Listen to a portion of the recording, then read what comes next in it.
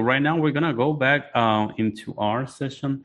Now this is part two with Dr. Harapnuik, and I have Brianna Rodriguez, which is gonna take it. I'm gonna pass it to you, Brianna. Thank you, Pedro. Okay, Dr. H. So my question is, I'm sure you've had a student who is very off track. And how do you deal with that and redirect them while still allowing them to have um, their own success and ownership instead of just saying, you know what, move over, let me tell you how to do it so you get it right, and still giving them their own um, voice and taking ownership of that? Yeah, um, this happens more often than, well, actually, you folks are teachers. You, you know how often this happens. This yeah. happens a lot, right? Um, and this is a special opportunity. Um, and, and I start off with this premise. All of my students, even if they're just in for the credential, have some dream, have some goal, have some priority. And if they're off track with an activity or they miss something completely, um, I will try to find something good in what they have, comment, encourage, and say, listen, let's meet. And I meet. I will I will bug them if they can only do a phone call with me. I'll do a phone call, but usually I'll do you know some type of a web-based conference because I do everything online, right? So I just for those who are taking this in, everything I do is online, and I happen to be in another part of the country.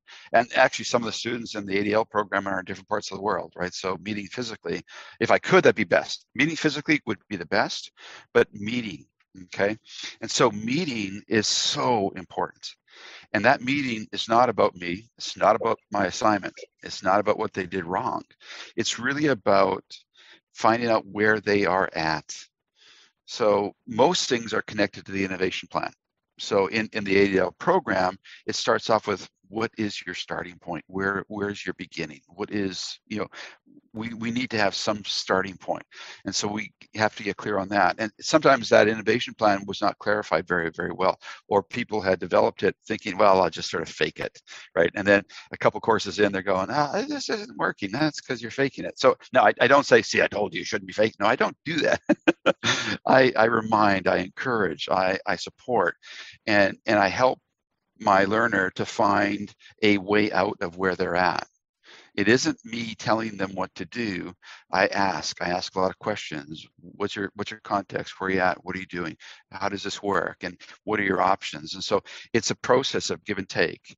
And it's letting them know that my job, my job is to help them be successful. I say that all the time it, my job is not to tell them whether they're right or wrong. Oh, you didn't meet my criteria or standards. No, they're not my standards. Yes, I've got standards for what you need to do in the course, and you probably all recognize I do expect an awful lot of my ADL graduates. You actually probably do a lot more than most other people do. You do, yeah. I trick you folks by getting you to do real, authentic learning opportunities. You do a lot more, and the standards are higher, but the quality of what you do is amazing you're going to be able to do this in the real world okay? So when i work with that student who's who's missed something um, i find out what it is that, that they have missed. Now i also start with another presupposition. Chances are my instructions suck. Seriously I, I no maybe i maybe i didn't explain myself well enough right? It might be just a matter that a language issue. So earlier on in our conversation i was clarifying the definition of terms right? Sometimes i just confuse people. I talk too much right? So I, I listen i ask i find out where they're at. What do they really want to do? What's uh, what's their hope? What's their why? Why are you doing this? Most people go into a discipline um, that has an educational component because you're somewhat idealistic and you want to change the world. You want to improve things, right? So if I can get them to think about what it is that they really want to do, and I, have had, I often have students from the business world. Well, in the business world, they want to make an impact. They want to lead an organization. They want to do certain things. So you find out what the why is, and then once we get clear on what it is that they need to do, we take a look at the assignment and where what went wrong. And I try to help them understand what they need to do to take what they have so far and make that adjustment. Because quite often it, it's a matter of looking at something, well, this looks like a glass. Oh, this is just a funny glass with a picture on it. Well, no, it's actually, if you change the perspective, this is a cup, right? So it might be just a matter of getting them to look at what they're doing from a slightly different perspective. Um, and it's a give and take. Sometimes it takes a couple of conversations. Sometimes it takes, you know, uh, them sending me another iteration of their activity and their assignment and another video for, with me explaining, you know, this is great, this worked, missed this part, right? So it's an ongoing iterative process of helping them to realize what it is that they need to do to be able to implement what they want in their circumstances. Um, now, do I dread this? Do I get frustrated with it? No, I actually like this because it allows me to interact. And there are times that I've had some students who recognize that it's okay to make mistakes. It's okay to you know to miss a uh, miss miss the target, so to speak, and that once they know that I am going to allow them to redo stuff and I'll adjust the grade. Once once the fear is taken away, and that they realize that that I'm going to help them, changes everything. So if I can move down that path and get them to recognize that they have an opportunity to change the world around them right? So take the focus off of uh, off of my standards my criteria but help them recognize their opportunity to improve their world gets them back on the track. So what is it that you can really do? Sometimes they have to shift the perspective of the assignment. Sometimes it's, it's looking at doing something completely different. I call it a pivot right? It, you know it's whatever your real world authentic opportunity has presented you. There are times that i will it doesn't happen often, but there are times when I let students know that, and this is why we put the 5305, the innovation course at the beginning of the ADL program. Um, there's an awful lot of work in this program, and everything is based on what you're going to be able to do. If you're not going to be able to do something, if you're going to be faking it continuously, it's going to be a lot of hard work. And you can do it, other people have, but it's this ongoing process. So you have a choice. You can either find something real to do or maybe there's an alternative uh, perspective. So that that sometimes happens, um, not often. For the most part, I work, I struggle, um, uh, multiple resubmissions. But then once I hit that point where the epiphany happens, the lights go on, and they got it, and then they they run with it. I've I've I had one student I made him redo 5305 completely. Oh. Yeah, yeah, and you know what? He did a great job.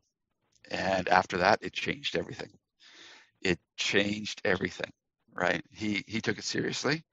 So because he was kind of blowing it off, blowing it off. I you know he it, it was he was he wanted to go through a simulation. It wasn't really important. So I I I have actually made people do that. I I if you don't do the work, I can't. You know the uh, grades don't lie. You know I I I yeah, and sometimes that has happened once. But he went on to graduate and do exceptionally well. And I've actually had him work on a couple other projects with me after the course, after the program was over. So it was it was wonderful. I took the time, and I saw the potential that he had, and and I was willing to work with him and to help him to realize that potential. So it it takes a lot of work, but it's it's worth it it's worth it because we all have a sphere of influence. And and if if if i can help a learner to recognize that this course is all about or this program is all about making your world better and and doing something good in your world it it changes things. And it it um, makes it makes uh, all the difference in the world. A lot of work though but it's fun. It's worth it. Did i answer your question finally? Yeah, no yes you did. And i um, you've mentioned that you always see yourself as a guide, not not the person that has the answers. And I think that has allowed me to take ownership of that of and within my classroom as well is no, you have to do your work. I'm I'm here to help you and I'm here, you know, let's figure it out together, but you have to do your own work. Take ownership of that and you know it you end up learning more clearly but that that's a different mindset and shifting that because i think teachers are looked at as to have the you, you're supposed to have the answers. Right. Yeah um, I, i've been accused by a variety of students dr harapnuik you're not doing your job. You're supposed to be telling me what i need to know. You know um, yeah, I I agree. Um, a guide on the side, you know, that typical saying. I, I like the idea of a coach. I, I, I like that. The coach, the facilitator, the guide, um, and and it, it, it's exciting because um, coaches can make a difference. Um, and and the, the beautiful thing about the coach is that the coach isn't in the game they're not actually playing the game, right? That you know the, the players are in the game, right? But the coach can help the players be better, right? So you know think of think of okay, I'm a Canadian, so hockey, right? Wayne Gretzky, you know the one of the greatest hockey players. He had lots of good coaches, right? Glen Sather was a coach of his for a while with the Edmonton Oilers, right? Sidney Crosby, again, one of the one of the best players in the world right now with Pittsburgh. Lots of good coaches. Alex Ovechkin, oh, probably the most amazing Russian player ever. Lots of good coaches. Okay, so you need a good coach to help a good player to be even better right? And uh, i think it's wonderful because you you can pour your knowledge and your insight and your capacity and let them do the hard work right? You know because uh, again the gray hair i'd love to be out there doing it but no it's better for the younger folks to be doing those. It, it, you have to recognize your role and, and i think that's important. Now this is important to understand that with outcomes based instruction where your students are building something real they own it now, if if we were doing competency-based instruction, if I was dispensing knowledge and information, well, then I am the, the teacher and I am the authority, and you answer the answer the questions on the test. And so it's a very different model. And um, I, I, wish we had a little bit more of this outcomes-based perspective. Um, and we're starting to see pockets of it research. It, it we're, we're we're into a pendulum swing right now so like the timing for this has never been better. I, I i'm so thankful for covid. Yeah i know you're recording this and i hear i'm thankful for covid but covid i think has helped people to realize that we can do a better job and, and that's why i'm thankful. I'm not thankful for the horrible aspects that have come about.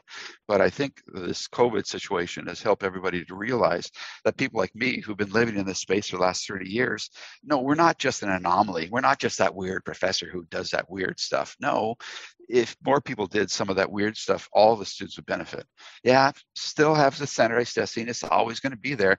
But if you can sprinkle in a little bit more of the, that outcomes-based instruction, the coaching, the guiding, the mentoring, the facilitating plays a more significant role. And and from a from a professional perspective, I think about how you feel the difference, right? When when you challenge one of your kids, yeah, listen, you need to do that. You watch them struggle, watch them struggle. Oh, oh, you're tempted to step in, oh, and then they get it. Yes, and then and then they go, oh, Miss Brianna, I got it. Yeah, yeah, you did. I knew you could do it. Oh, they're proud. you know, that that is why we do what we do, right? That epiphany when they get it. Uh, it's wonderful. Yeah. And I know, uh, Dr. H, you actually were able to look into the future because you just answered the second question that I actually have for you, which was about what are the challenges as a professor of letting go of those expectations. Uh, but you really actually uh, give us the answer so let me ask you this like, when and how did you learn to let go?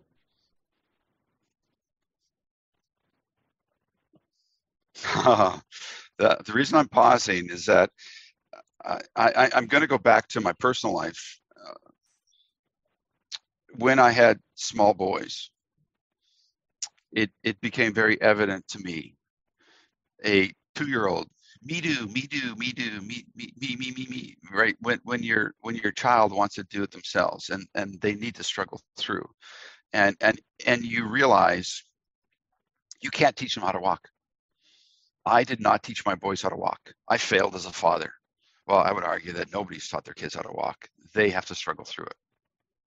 Right, Brianna, Brianna's chuckling, right? You know, she she knows, right? I, I, if you've been around kids, you've seen this. Okay, a language as well. Did, did I actually teach my boys how to speak? No. We immersed them in a learning environment. And through being immersed in an environment, they acquired language and speech. They acquired a lot of social skills, some not so good, some better. you know, so you know, the think about it, they had me as a dad, so there's there's issues. There's always going to be issues, right? Fortunately, they had a wonderful mom, right? So you know, thank God they had a wonderful mom, right? So um, I recognized earlier on with children. I also spent a fair amount of time, even before I had kids. I, I did work with kids. Um, I, I, volunteered in schools. I had a niece I spent time with, and, and I, I, I, I, I spent a year in uh, with her in kindergarten and in grade one in schools reading to kids and and i'll never forget the experience of having one ratty naughty kid that they gave to me because i was the only person who could sort of physically control him i'd pick him up and hold him as he'd squirm around i'd sit i'd hold him down i'd make him read with me this is back at a time when we could touch kids a little bit more than we could do now. You can't do that now, right? But but again, I I disciplined him a little bit. I you know, I, I wasn't mean to him, but I just I helped him to control himself. But I spent time with him, and in about a month, I got him from not being able to read to being able to read.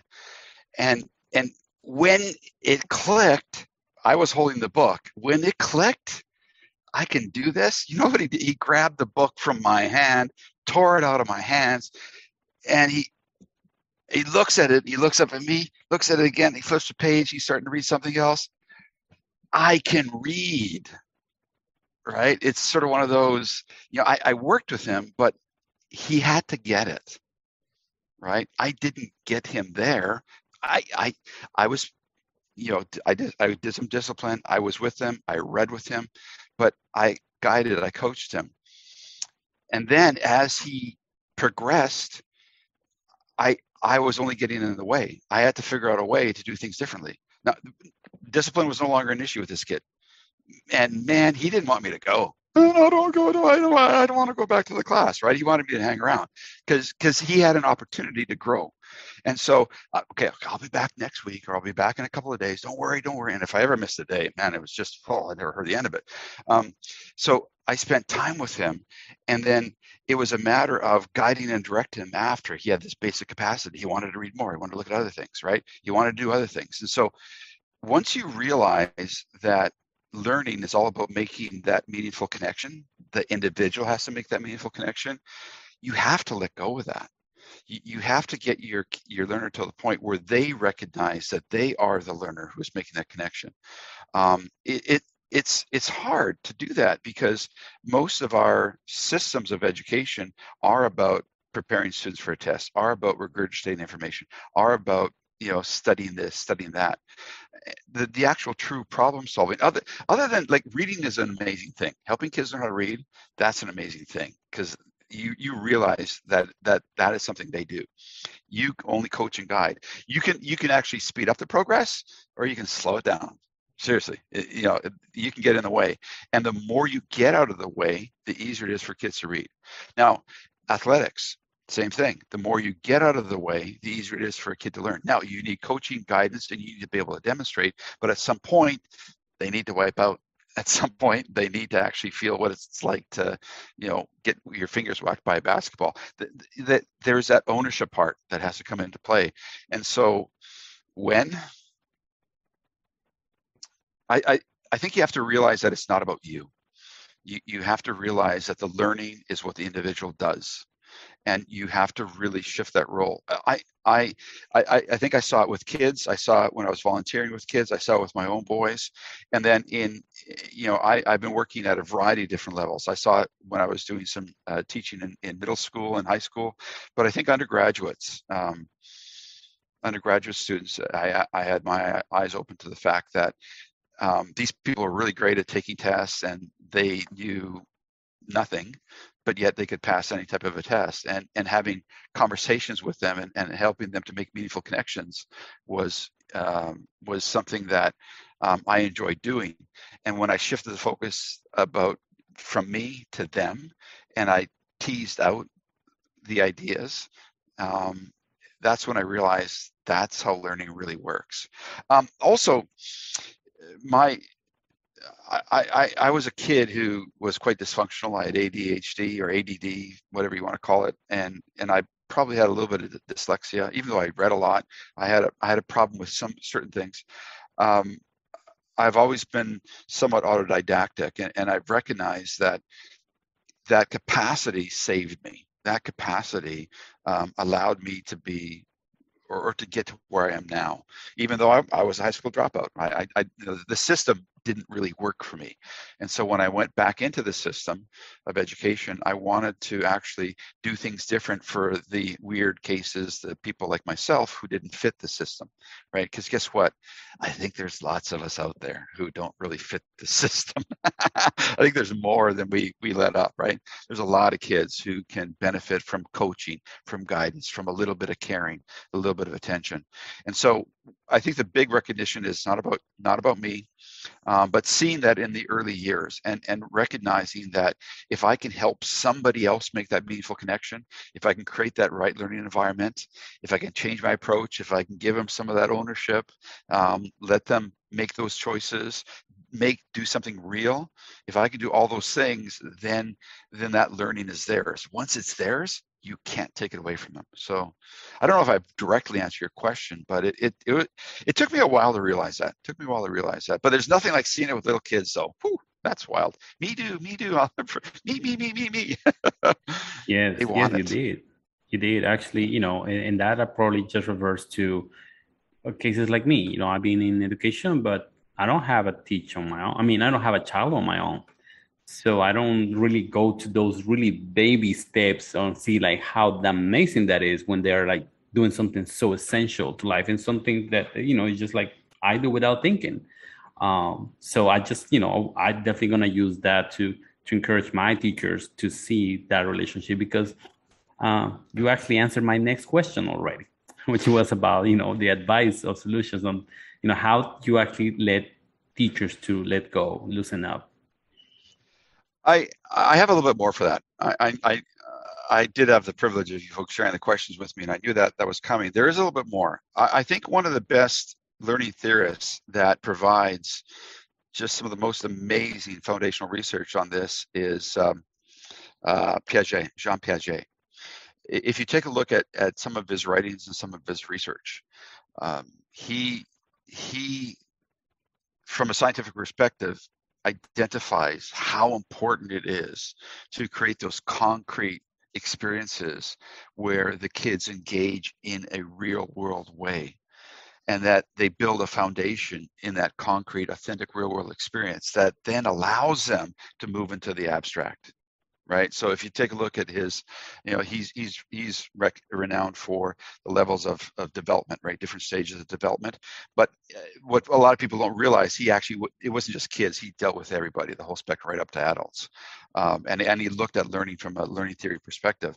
And the key thing is is recognizing that the learning is what the individual does and and that they need to be engaged right? And and and so you, while you might not have kids right now but you can read his work and he observed hundreds if not thousands of kids. And so there is well established research um, I do have a post on my on my site where I point to one of my favorite uh, books. It, unfortunately, it's it's a translation of his work because he did his work in French, um, and that's the only drawback. That's why we don't. Not enough people are really exposed to Piaget because uh, some of the some of the translations aren't that great. But when you look at the body of work, the hundreds of research projects he did, the observations, looking at at how kids learn, and and um, in that one posts I have, I think I've got a half a dozen quotes where he is extolling this constructivist uh, perspective of ownership that I think is really important. And that would be a wonderful tool to share with colleagues, you know, to help them recognize that we are preparing people for life. Remember, you my saying, you want to prepare them for the test, prepare them for life? Well, guess where I got that one from? I got it from him, right? So, you know, th- there's a lot of research out there that you can point to. Um, so even if you don't have that practical experience, uh, well established peer-reviewed research that that really points that. Seymour Papert more recently um, amazing, amazing work. Uh, Salinger, who was one of his pupils, amazing work in, in the uh, uh, makerspace movement. You've got a lot of people today who have um, a lot of research and a lot of wonderful books and ideas that are based on some of this foundational work that is traced back to Piaget and then and then Dewey. And actually, you could trace it all the way back to the Stoics. you know, you could, like, you know, it, uh, but in the middle period, you'd have to take a look at the apprenticeship type of a model that we we saw in the Middle Ages. But you know, we're, we're humans. We learn by doing, by experiencing, by experimenting, and and and you know what? Encouraging your teachers, colleagues to let kids be kids. Let kids play. Let kids experiment. Well, actually, uh, adults like to play. Adults like to experiment, right? We do. Uh, that's part of our nature, and and so helping people to become a little bit more childlike is a good thing. You know, so that hopefully that I think can be an, an encouragement, and it, it's fun. It is fun to see some of the bizarre projects kids can come up with. Some of the things you see kids create is just amazing. You know, where where are their heads? It's just amazing. So it's it's exciting. Hopefully, I've given you some suggestions, pointed to some ideas that you can find useful, and encouraging so, people to move in that direction. Dr. H, hearing you say that, it really made me think about how clear it is to see that adults want to do these same things. Like if you go to like the Perot Museum, that's here in Dallas in Texas. Um, but it's a interactive museum and I've been to one in Arkansas, so I'm sure they're all over the country and the state as well. But you go and you see kids enjoying interacting with all these different science experiments and just moving things around and seeing how they work but then you can also see their parents and adults doing the same exact thing trying to figure out how it works and how what's happening how it makes sense and kind of exploring with their kids. Um, i don't know it just popped into my brain as you were saying that that you know it's not just kids who want to be creative and explore but really everybody at the end of the day well, it, it's interesting that you mentioned that. Up, up here in Canada, we have an organization called TELUS, and TELUS has uh, innovation centers, and they have them in different cities, and and they are like this museum you're talking about, and you go there and you can do all kinds of different experiments and explore. More adults go than kids, and the only time kids go is during the daytime when when schools take them on field trips but in the evening time kids can't go because parents have booked everything up or adults. Like it is an amazing place to explore to experiment to try different things. Um, and i think it's a testament to part of our nature. We want to create we want to explore we want to experiment. Oh it, it's fun. Take a look at at where we are in the world. Look at the amazing inventions. You know, we've we've got cars that can almost drive by themselves. Like a Tesla is an amazing device. Sure, unreliable and they might burn, but still they're an amazing device, right? Like we, we had we had what not SpaceX. What what was a group that went up? Um, took a bunch of non-astronauts for three days and they came back down safe right we, we've got people who are talking about mining asteroids this is amazing stuff you know, this is the stuff of science fiction, but science fiction comes out of exploration. Science fiction comes out of this type of a, a world of what if. it's a wonderful, wonderful way to be. And I think I, I always encourage, here's one more thing you might have another Tesla in your classroom. You might have another Einstein. Who knows? Who knows? You might have a, a Jonas Salk. You might have, you know, um, an inventor in your room. Somebody might have a cure for cancer or something. I hope. Right? Yeah, we hope. We hope. I heard something the other day on a podcast, and and this is this is scary. This notion that the world is being overpopulated is actually a misnomer. Uh, this researcher was arguing that um, in the next in the next 30 years, the population will decline because we have hit a point we are no longer replacing the population. We are below, like it's 2.7 children per, per, per female in the entire world. We've dropped down to 2.4, 2.1, and in, in the US and Canada, something like 1.5. So we're, we're in decline. Even in China, China is changing their policy because they're recognizing they're in decline. And so there's a lot of researchers that are going, oh, this is not good. And the reason it's not good is that the more people we have, the more opportunity we have for people to be born who are going to have a solution to a problem. So as our population declines, our ability to innovate is declining directly right? So this this Malthusian scare tactic, oh, we're overpopulated, is actually not very accurate. Um, and if anything, in, in there's a there's a whole stream of thinking that would argue that it's actually wrong in the sense that we need more people to be able to come up with a solution to the problem. Right, and, and, and there's a whole body. of Hans Rosling, um, he passed away recently. There's a whole bunch of people. Steven Pinker, um, Enlightenment Now, right? There's there's there's lots and lots of thinkers who are pointing to our amazing capacity for exploration and for problem solving, for growth. And guess what? That growth comes out of Brianna's classroom, your classroom, Colby's classroom, you know, Pedro's engineering club. Uh, what can you imagine what projects are going to come out of some of the work that you you folks are doing? That's exciting.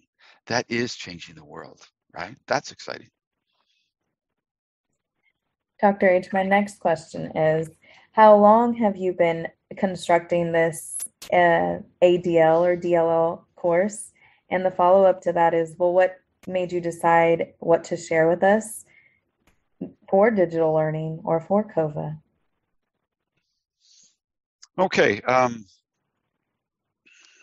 I started research into this in the, um, I, have been working with technology and education since the late 80s, 88, 89. I've been playing around with computers and technology and finding out better ways. In the early 90s, I switched from studying, doing a master's in philosophy to a master's of information science because I recognized that the connected world was going to present a world of opportunity.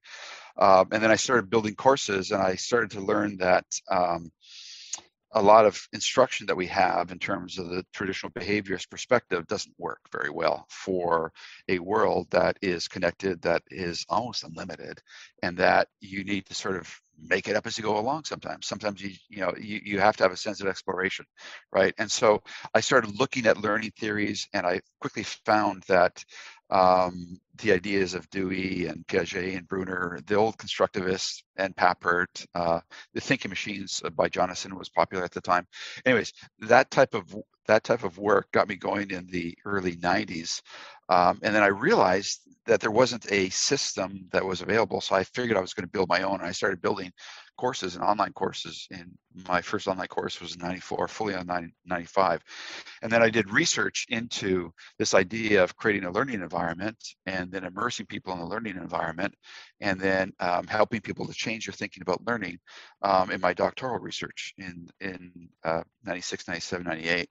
So that's, that's, what you're experiencing started then. Um, back then it was called inquisitivism, the hmm, what does this button approach to learning. Um, so it, it's, it's grown and it's matured. And I have taught courses that have a lot of these elements of choice and ownership. I've been using authentic projects in all of my instruction since the 80s. Okay, so that that piece has always been there, which means choice has always been there. Um, the ownership has always been there. The voice is a newer perspective. The voice is a newer perspective that comes out of my research into, well, so when I was doing my doctoral work, this is serendipity. When I was doing my doctoral work, I was, I'm a technology guy, so I was playing with Unix and a variety of other things. And in faculties of education, they didn't know where to put us technology people, so they put me into ed psych. So all the ed tech guys or the educational technology guys went into psychology. And so I was in psychology, educational psychology, and and our the university I was at was heavy in, on the counseling side. And so I took a lot of psych, a lot of psych. And so I started to take a look at that affective domain and, and a psychological side of learning that I hadn't looked at before. And that really opened my eyes to learning theories, right? And then and then I had already been looking at you know the learning theorists like Dewey and Bruner and Piaget, um, and I started to make those connections that we need to combine the authentic learning opportunities with a little bit of psychology and and you know and the whole cognitive side because I was in a school that emphasized the cognitive. It was a cognitive school. So our, our school was known for its cognitive psychology. So I was a behavior, I was a constructivist in a cognitive school who was playing around with technology. So I didn't really fit anywhere, and I had to make it up as I went along. So um, the the voice part came out of that when I started taking a look at the work of people like uh, uh, Mezirow, right? Um, and his whole idea that you don't really learn something until you tell somebody else about it. Or Albert Bandura. Oh, Albert Bandura, amazing work. Amazing. He's a psychologist out of Berkeley, and and he uh, he's responsible for a lot of cognitive behavioral theory, um, things like that. So a lot of people who, you know, if you look at a lot of CBT stuff today, you'll find its roots in, in his work that he did back in the 70s and 80s and 90s. So I, I saw that element there, and I, I had a foundation in the older theorists uh, like Dewey and uh, and Bruner and Piaget. So all this happened and then in in the early 2000s i started building courses graduate courses well i'd always been teaching grad school and undergraduate courses um, but then i started to build uh, programs around this um, and in 2006 um, 7 i started to build some kind of the innovation course. I, I, did workshops on the innovation course, and so a lot of a lot of what you saw in the ADL program came out of the work that I was doing in the early 2000s, and then by about 2010, I had about six or seven of the core courses that you have experienced some variation of built, but in other contexts. I, I did work in other schools and I taught them in different programs. Um, they were all online and I had worked at other institutions. I lived in the US, I was in Europe. I, I, I lived, I traveled, and I taught online. And so I, I made the argument that um, I was a better online educator because I actually walked the talk. Most online educators really didn't know what it was like. You know, they didn't have a computer at home. They went to the office, they connected their computer. Yeah, I'm an online educator. No, you're not. You, you need to live this, right? So I live this. Um, and so all this came about. Um, and then in 2015, um, I had an opportunity to come to Lamar, 2014 actually, and build a whole program from scratch. Um, and so it was the realization of my whole dream of what I was working on for the last 20 years. so um, what we built originally, the digital learning and leading program, um, I, I am responsible for nine of the 12 courses in that program. I, I didn't build them all. I, I, there's some other people who are involved. Obviously, there's there's it's a collaborative endeavor, but a lot of the philosophy, and then so the whole the whole notion of giving students choice, ownership, and voice through authentic learning opportunities was built into the program because what we wanted to do was um, offer students an opportunity to be exposed to a true constructivist learning experience. True constructivism, not this, not we lecture, tell you how to do it, and then go and do otherwise. Well, we had to model it. Okay, so I had to model it through living it. I had to model it through my own portfolio, which I have. I, you've experienced it. I had to model it through uh, the experiences, everything I do, creating the videos. Some of my earlier videos, you've seen some of the earlier ones, eh, not so good. But some of the older ones, oh, you should see the one in 5320. Oh, I'm getting really slick now. Maybe a little bit too slick. I think I might have to dial it back a little bit. I think I have to make it more accessible. Anyways, the point I'm making is that I have been looking to continually improve and refine, and I'm constantly analyzing, reflecting on how can I make it easier for my students to take and create an amazing learning environment for their students and change the world one learner at a time. I, have been living this dream consistently since the 90s. So the the DLL was the first big program uh, of this sort. I, well, I built one other program that was smaller, but this was this was a, the full-blown masters. And I had done parts of other doctoral programs, but the DLL was the first big one. Um, and then when we when we were looking to move to the ADL, I had the opportunity to go and change things that I really was disappointed about. Initially, the DLL was going to be 15 week courses, and it would it would take yeah 15 or traditional semester based courses, right? Because uh, repetition over time, when you're doing real projects, it's a lot of work. But because of marketing, I had to squeeze it into five weeks. And so um, we did, we cut out a lot of stuff that was unnecessary. Um, and then when, when the opportunity to do the ADL came about, the the discussion was going to an eight week format, which was almost as good as the 15 week. But you know what? Since I squeezed everything into five weeks, eight weeks was even better. And that was a sweet spot. It also allowed me to eliminate some stuff from the program that was unnecessary. And what I've been finding over the years is that good instruction is about getting rid of unnecessary things more so than it is adding more. Okay, so if you create an environment where your learners are building real projects, what you need to do is you provide the resources at the right time and you point students to the right resources as they're going along. That's the key. More isn't always better. Lots of stuff at the wrong time is useless, right?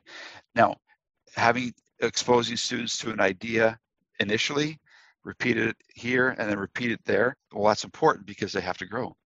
So if you think about some of the perspectives in terms of your learning manifesto, the learning philosophy, how do you apply it, right? If you take a look at the growth mindset, re, you revisit it a few times right? This whole idea of the purpose, the why.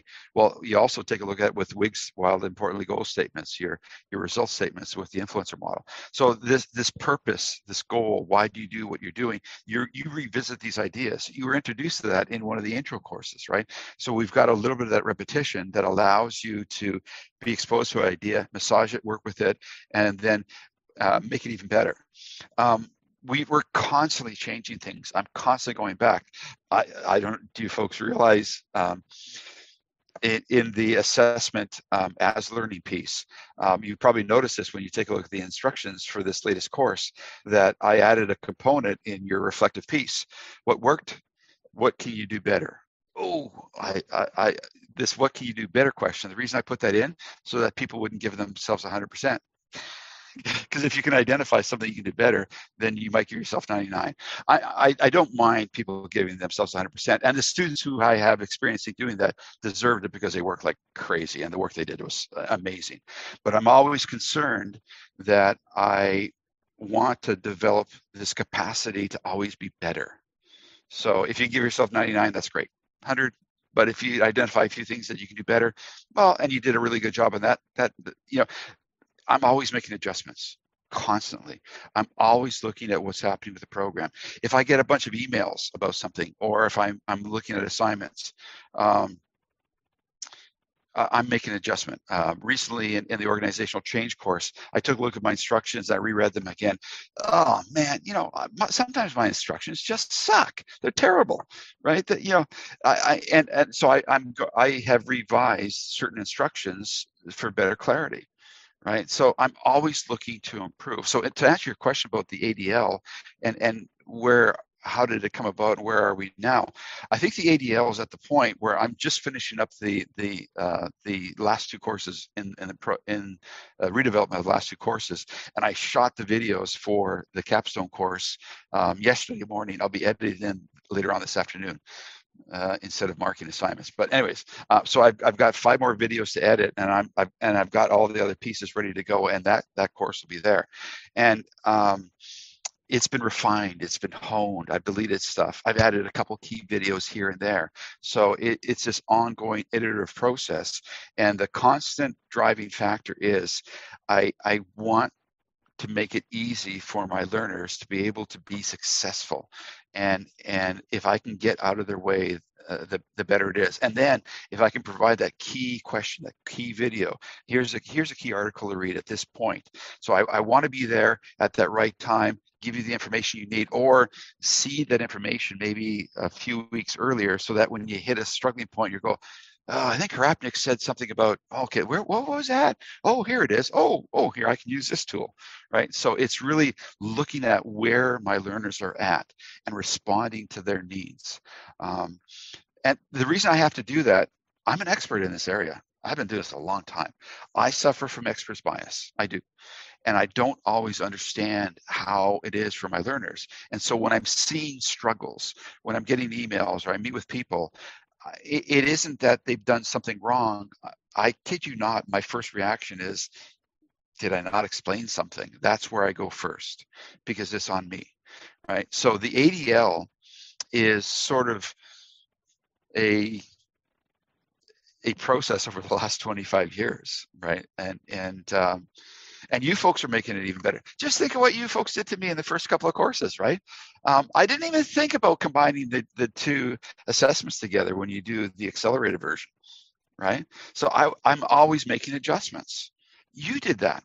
I, I think, well, Allison and uh, Allison, there's somebody else. There was a couple people who commented on that. Allison started it. She starts a lot of stuff. I think maybe Pedro's involved in that too. I think you all were. You all ganged up on me. No, but it was good. When I say ganged up on me, no, you didn't. What you did is say, well, you know, Dwayne or Dr. H, this would be better. I think this would be more effective. It would help us if we could do that, right? And and the other thing that is really important, um, and, and this is really about the ADL, I'm trying to let go of more instruction and give you even more freedom right? I, I'm really, really working at that. So, Brianna, you and I have had conversations. Well, should I go to this? Should I do this? You're struggling between different platforms.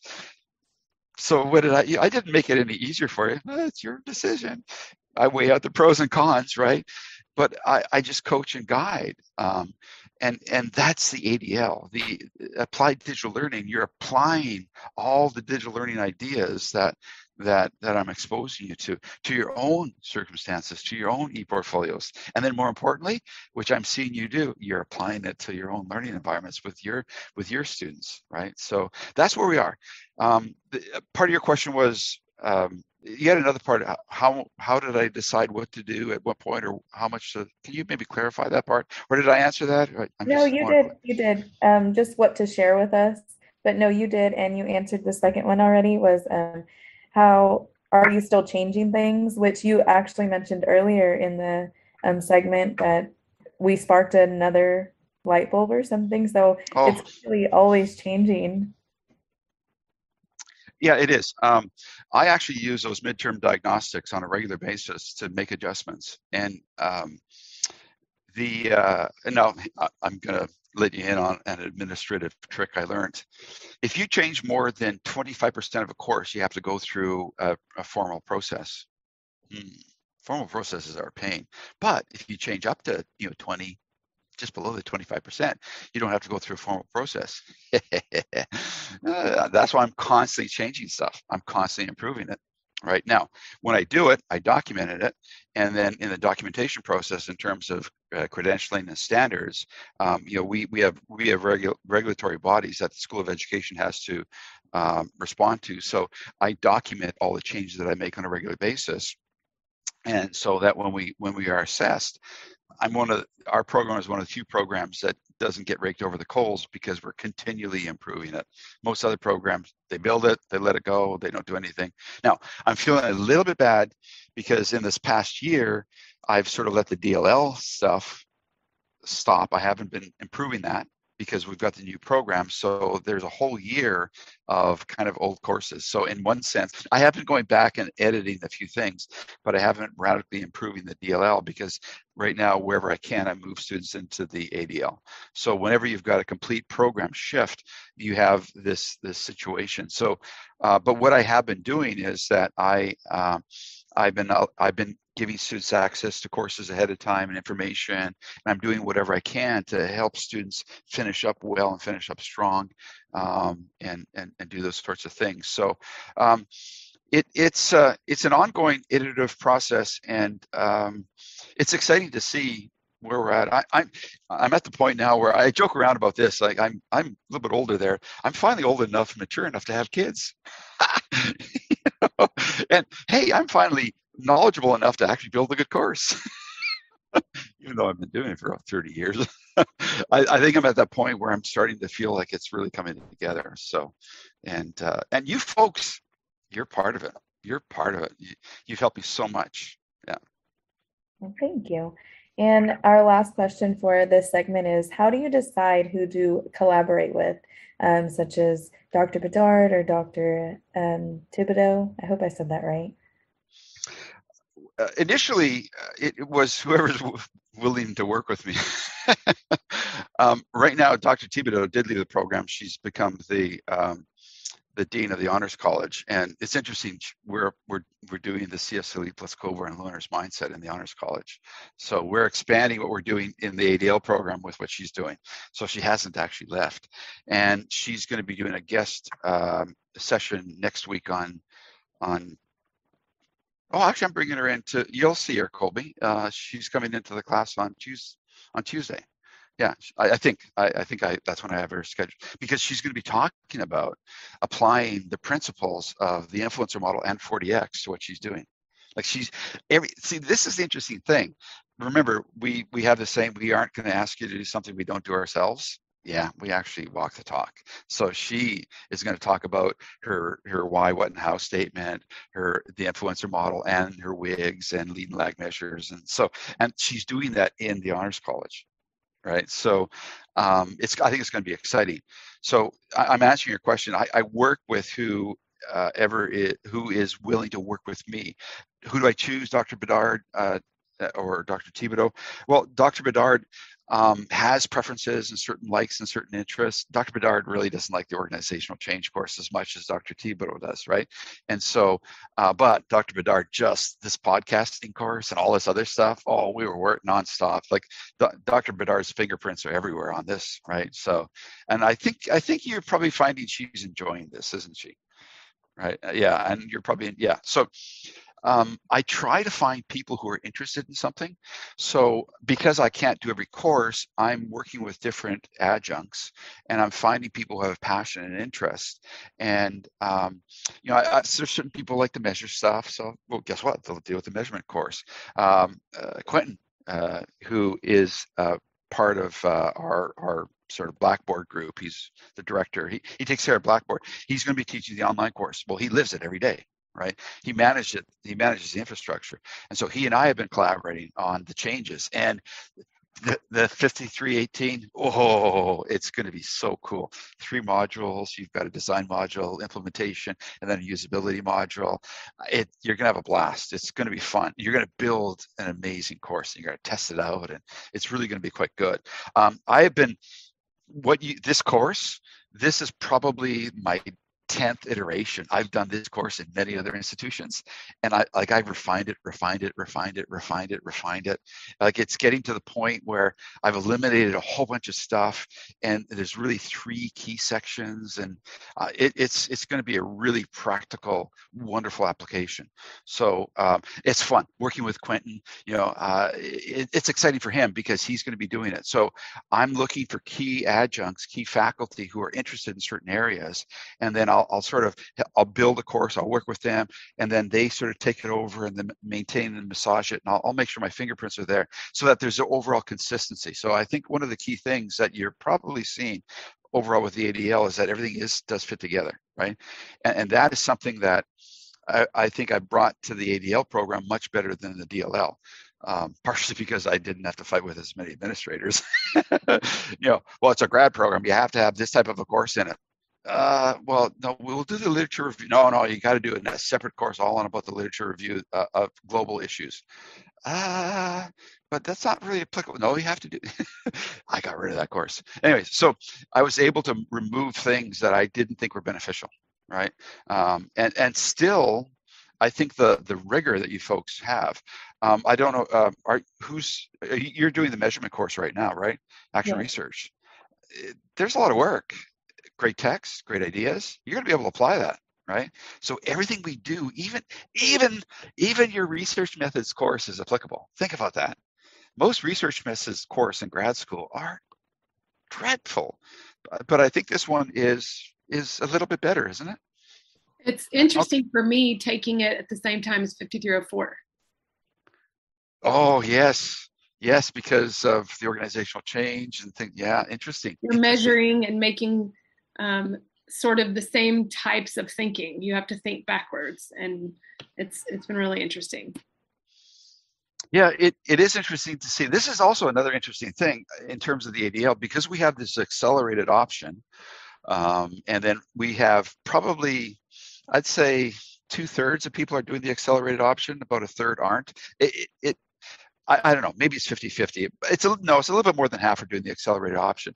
But those who aren't doing the accelerated option, they're doing things in different sequences than other people. And so the reaction that Colby gives me is different than other people. But seeing how the people who are doing it together, um, guess what? It, in the next two courses, there's going to be the first, you're the first group um, who are going to finish the whole program in one year, a whole graduate degree in one year, and you're going to have built an amazing project. Like, it, it, look at your e-portfolios. How many pages do you have on your e-portfolios? How many posts do you have? Huh? A lot. A lot of work. yeah, yeah. You've Can done I a lot. You've amazing. Done... Can I just tell you, Dr. H? So, in my undergraduate, I I got my degree in psychology, um, and that was a four-year degree. But I think I have honestly learned more and developed a better understanding of some of the things that I learned in my undergraduate in the past, what almost, I don't know how long, basically the past year in this program with you and then working with Pedro and Colby and Brianna because we all have such different perspectives that it's really been eye opening.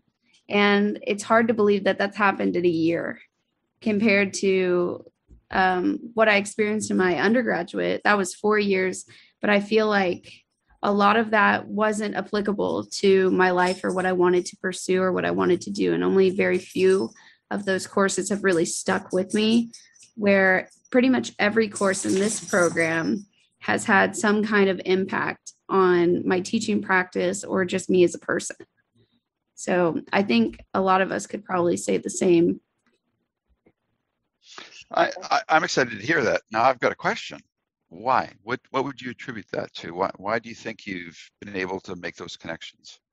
Um, I think a big part of it is I have a better understanding of who I am now compared to who I was when I started my undergraduate degree. I think that's plays a role in it.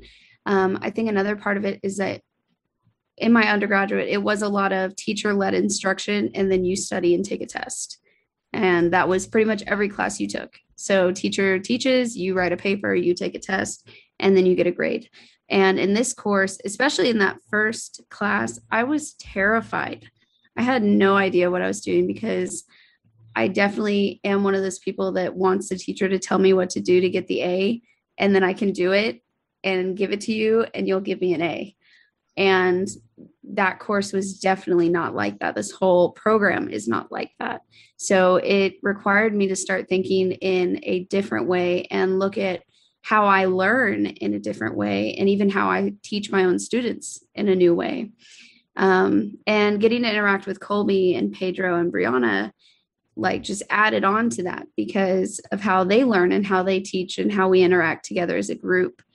So I think it's really a mix of everything that's happened throughout the ADL program and maybe the accelerated courses like doing both at the same time, doing the e-portfolio course and having to try to figure all of that out at the same time as I'm trying to figure out, well, what problem is really close to my heart and important to me enough so that like I'd want to do it for a whole year and try to find some mm-hmm. solution and figure it out.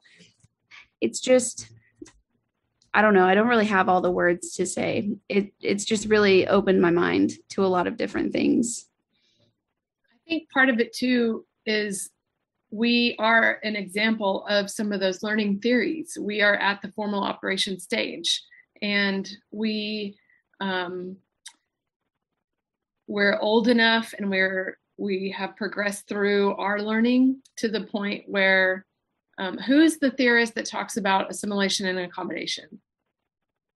We have we're at that point now where we have um, the shelves to put the knowledge.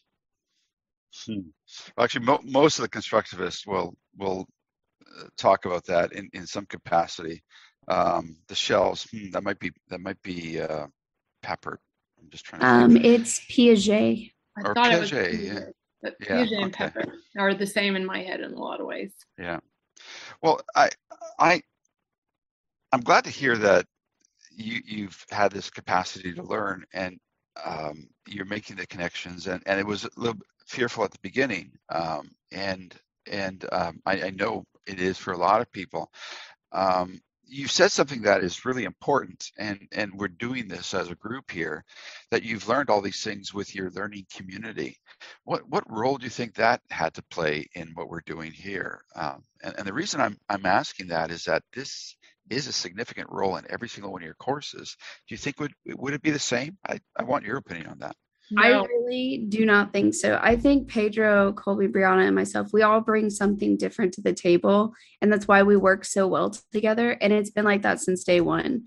Um, I was in a different um, core collaboration group at the very start of the program. And although they're both very um, educated individuals and they're you know they each have their own strengths that group and i we never collaborated and worked together as well as i do with these people and i don't really know why that is I've thought about that too. I wonder if it has something to do with Pedro has this like magic way of seeing exactly what you're good at and how you can contribute. And he picked us. He's the one that started this. He's the one that said that we four needed to be together. And and he was right. And I he I mean, there's a lot of things about Pedro that we could all joke about, but that is gold. that's just his gift is bringing people together and i think brianna she's really the one who keeps us all on track make sure that we get everything done on time and that we're following all the directions and that we're meeting you know all the expectations and then Colby's our editor. Up She in the makes sure we sky. don't silly. It's like when you have a company, right? You can have production, but if you don't have accounting, you need somebody who does the accounting part. You need all those pieces in order to that structure to work. Uh, but yeah, I mean, definitely was. I think everybody kind of picked up and at, at the early stages, and you know, we were able to find a good match. I mean, to be honest with you, it was a matter of like, who wants to do this? Who wants to meet every day? I'm sorry, every week in addition to our classes that was actually the filtering point. A lot of them started, but none of them we're the continued. coming. Maybe that was. You were the of it. consistent ones, Right. and you you show your development and you show your, your you know your gift by being consistent on the same things you did every every class. So we're already knew by second class, like we know Colby, you know, we know Allison's gonna have that checklist, and I know that Brianna already gonna look at all the all the stuff we need to read. Is gonna send us all the stuff. Colby's gonna send us the video of everything we should know. I mean, it was just kind of laid laid out, but it was also you know because of you, Dr. Yeah. H. I, I, I want to jump in with something here, and this is a, in another part of the answer to Brianna's question about um, the ADL and development and where we're going next. Um, your experience, I had my eyes open to the power of this type of an experience. Um, a few years back in the in the DLL program, I had a group who formed. I encouraged people to form a group in one of the early courses. They formed a group. They stuck together. There were there there were four of them. Um, one gal lost her daughter, 19 year old daughter. Um, travesty. Uh, and her group came around her, supported her, encouraged her. She doesn't think she would have been able to finish anything if it wasn't for her group. And I saw that power of that group of collaborators, and and I and I knew that I, I had to formalize that. I had to bring that into the the the next iteration of the DLL. I also wanted to mitigate this issue that sometimes I have an adjunct who is doing a course like the measurement course, and post one uh, post uh, one one question on the discussions and respond to two, you know, the formula, right? That doesn't work. That doesn't build community. That doesn't build collaboration. So I had to figure out a strategy that would allow um, that I could prevent that misuse of the discussions from happening. Well, guess what? As an adjunct, you can't do that because now you folks do your own evaluation, right? And it changes the, the dynamic. And because I'm responsible uh, for teaching the the early courses, I spend a lot of time making sure students get into a group so that they can come together. Um, what I'm going to be doing is I'm going to be borrowing this video from you folks. I'm going to be asking you permission to share it with future classes so that they can see the benefit of, of this collaboration because um, we don't learn in isolation. We don't. We don't. We in the real world we work collaboratively, and and and I think you, you you've talked about the fact that different people do different things, right? Logistics and and organization and, and picking the right people and um, you know discipline, accountability, all, you know ideas. What if this? You know, you you need those different elements. You need the different eyes. You need the different perspectives, and so. Um, this is something that we wanted to bring into the ADL program. Um, I, I, I, am going to let you know that in in the last course, I'm going to be interviewing you folks because several of you actually did uh, your first course in the old DLL program. Uh, there's eight students who did their course in the old DLL program, and now they've done the whole program with the different discussion format. So I'm, I'm doing some. I'm going to be doing an article if you're interested in participating, I'm doing an article on that to show how building this type of a learning community can make a world of difference. So, and again, to answer more of your question, Brianna, this is an ongoing thing. Um, I have other ideas, other courses that I, other things I want to bring in, and this is in response to um, where you folks are at and what you need and and and how to, how to improve things. So, uh, it it never ends. It, it never ends because learning never ends learning never ends and opportunities never end right? So it's it's really an opportunity to to grow and and to make those adjustments. I live in the state of a perpetual learner's mindset. Challenges problems frustrations oh opportunity for growth. You know hmm, what can i do? What can i take away from that? How can i make an adjustment? If i don't do this myself and if i don't model this well then how can i expect you folks to do that? I think that's another thing that was important. Earlier on in one of our conversations we talked about how do we help people to let go of control. uh, I think one of the things we have to do is model. I know, Allison, you're doing some really interesting things with uh, portfolios in math.